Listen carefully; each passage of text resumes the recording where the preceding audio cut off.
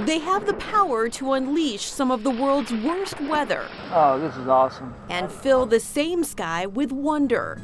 Turns out clouds even have a fan club. We have over 30,000 members now in, in 94 countries around the world. Gavin Pretor-Pinney is founder of the Cloud Appreciation Society, cloud spotters who treat the skies like a sport, snapping and sharing photos on their website and Facebook page. And they think they're onto something thanks to several unusual sightings. And every now and then, some of these clouds would come in. I never quite know what to call them. With the help of a Latin professor, they came up with undulatus asperatus, meaning roughened waves.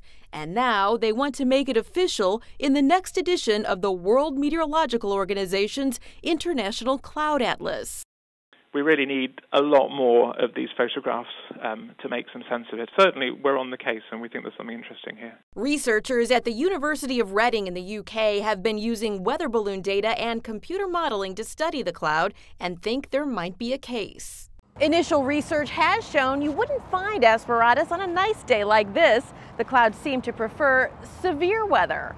We found that they are often um, associated with convective activity and convective storm activity, and also in some cases with cold air coming from the north. One of the biggest challenges figuring out where the clouds are located in order to gather timely weather data. Tracking them might soon become easier. The Cloud Appreciation Society is developing an app for that. I'm meteorologist Julie Martin, the Weather Channel.